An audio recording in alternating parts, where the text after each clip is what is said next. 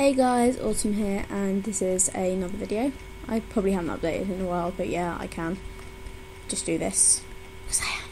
So today I'm doing a game review, obviously on Roblox, because that's where basically all of my videos are. Um, and we are reviewing the island of Mezaa, which is one of my favourite games. And I just thought, you know, because I love this game so much, I might as well create a review of it. So there are just some random notes here from Flair that's also from Flair. Yeah, in case I forgot to notice, this is by Flair the Wolf, who is awesome. And then you've got some really good rules there, which is seven. There's seven of them, but they're actually very reasonable, so I'm fine with that. There's just more notices over there, and some fan art. There's also some more fan art down there, and let's just go into the Creative Wolf bit. So this essentially, she's got a very large lobby, I think. Um, so when you go into the game, there's two options. You can pick Sand Pack or you can pick Forest Pack.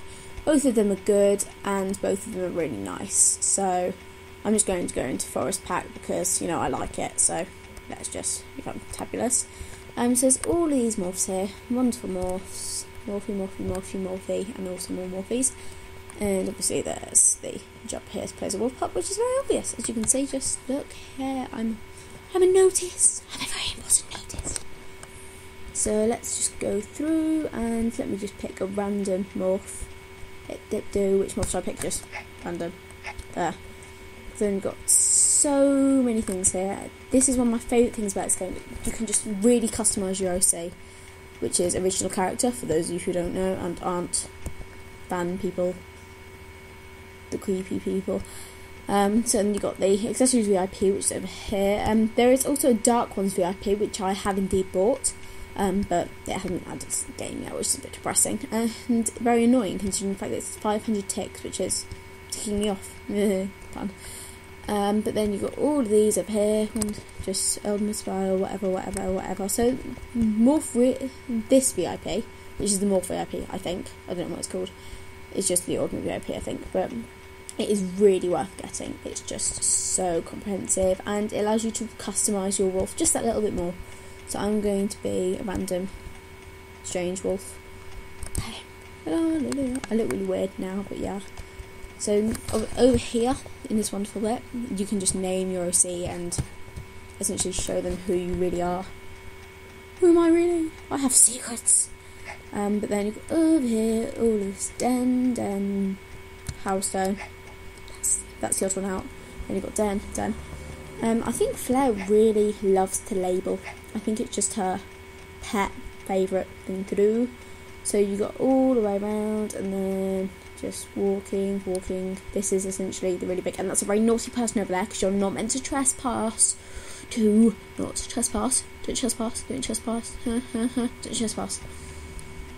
Anyway, so then you just chat using the normal um, bubble chat, which is what we normally use, and then you have iChat over here in the corner. Hello and it, it really ticks me off. Don't speak like that. That's very annoying.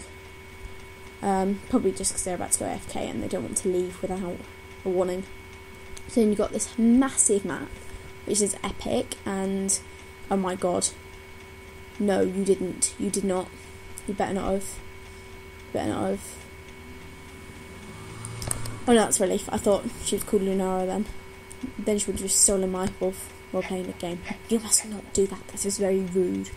So then you've got the heated den over there, and this is Small Pool Lake over here. As you can see, there is a label for everything, absolutely everything. Thank you, Flair, for the labels. They're very interesting. And then you've got over here just a massive sand pack map, which I'm not going to go into because that's against the rules. It's very naughty, and I dislike breaking rules. Even though I'm a slight badass, I don't want to break the rules in this game because if Flair is on, which I've heard rumours that she is, I don't want to get told off, essentially. If you can comprehend, because I really don't want to get banned, because this is an epic game, I don't want to lose the privilege of it. So I'm going to go in a minute, but yeah, this is essentially the Heartstone Cavern, which is a really epic Heartstone. It's a heart, and then you just have a he's from Leo the Wolf. Um, his name's Leo, but yeah, he's epic as well. He's one of the admins, I believe. I think he's related to Flair. or maybe they're just friends. I don't know, or maybe they're even in a relationship. But yeah, what do I know? I don't go into people's secret lives.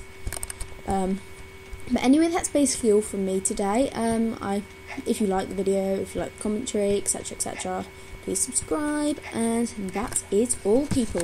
So goodbye, and we love you all. Probably goodbye.